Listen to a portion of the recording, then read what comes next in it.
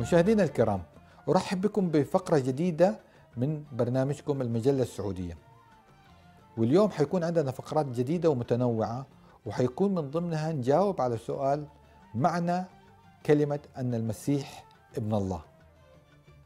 خليكم معنا.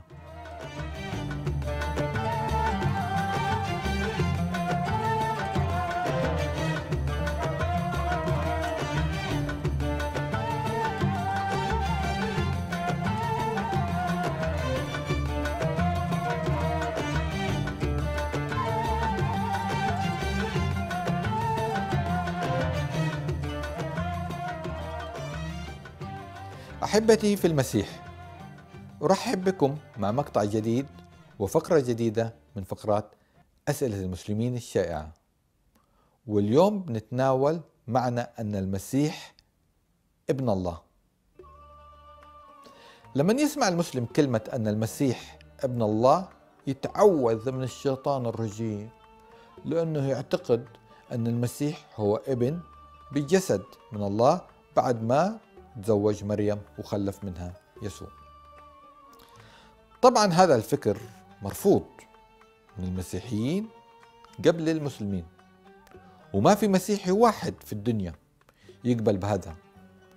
ولكن المسلم يعتقد هذا بسبب الآيات القرآنية اللي يقرأها المسلم كل يوم وخلته يطيح بهذا الفخ. مثل بديع السماوات والأرض أن يكون له ولد ولم تكن له صاحبة. أنعام واحد واحد. أنعام مية واحد يعني كيف ربنا يكون له ولد بدون صاحبة؟ لأن المسلم يفهم كلمة ولد بالشكل الجسدي ومش بالشكل الروحي للأسف.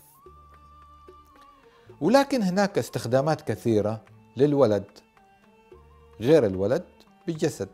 مثلا الولد بالتبني أو بالمجاز. مثل واحد كبير يقول لواحد أصغر منه بالسن يقول له يا ولدي وحنا المسيحيين نؤمن بأننا كلنا أبناء الله. وهذا معنى روحي ومش جسدي.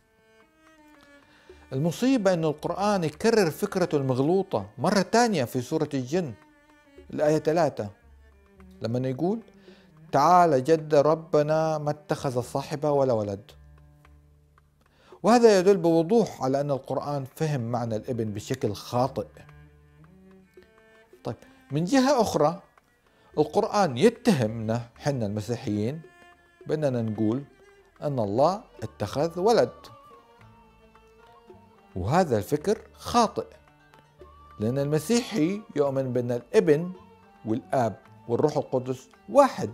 منذ الأزل ومش مثل ما يعتقد القرآن بأن الله في فترة من الزمن قرر أن يتخذ ولد.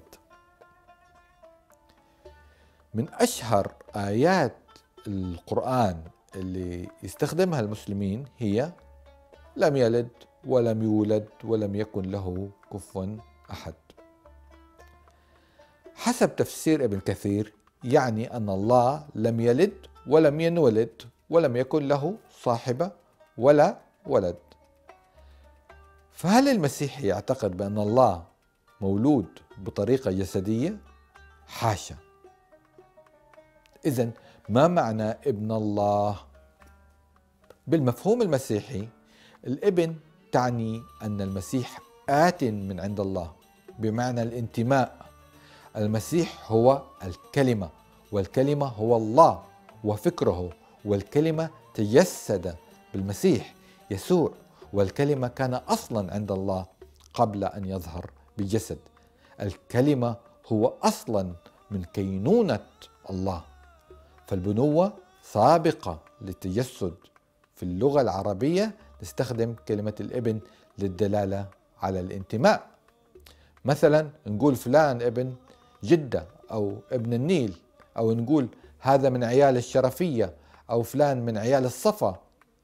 فهل حي الصفا مثلا هو أم هدول العيال؟ طبعا لا. المقصد أنه هذول العيال ينتمون لحي الصفا وهكذا. علشان كده الكتاب المقدس يقول عن المسيح في البدء كان الكلمة والكلمة كان عند الله وكان الكلمة الله. يوحنا واحد. واحد.